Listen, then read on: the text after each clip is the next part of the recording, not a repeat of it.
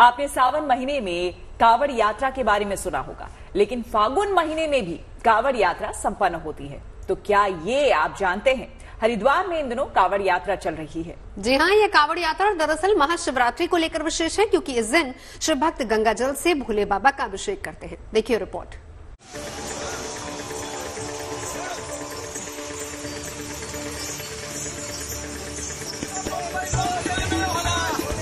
बोल बम का नारा। भोले का सहारा। हर हर महादेव का जाप, महादेव का आशीर्वाद। माँ गंगा के घाट पर श्रद्धा अपार, आस्था अपरंपार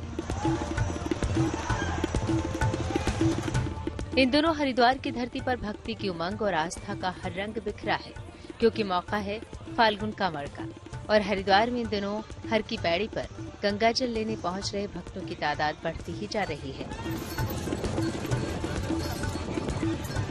महादेव के मतवारों का जोश कुछ ऐसा है कि उनके नाम के सिवा और कुछ न इन्हें सुनाई देता है, न दिखाई देता है।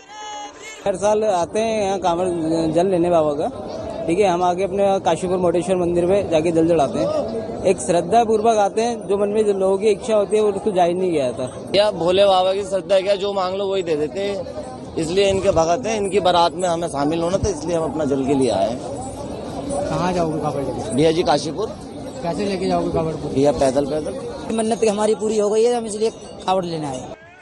फागुन कांवड़ यात्रा की शुरुआत हो गई है। महादेव को प्रसन्न करने के लिए और उनका आशीर्वाद प्राप्त करने के लिए भोले की टोलियाँ कांवड़ ले निकल चुकी हैं। हरिद्वार में हर की पैड़ी पर कांवड़ ले पहुँचे भक्तों की भीड़, उनका उत्साह और उल्लास बताने के लिए काफ़ी है। आठ मार्च को महाशिवरात्रि का पर्व है। मान्यता है कि इस दिन भगवान शिव और पार्वती का विवाह हुआ था।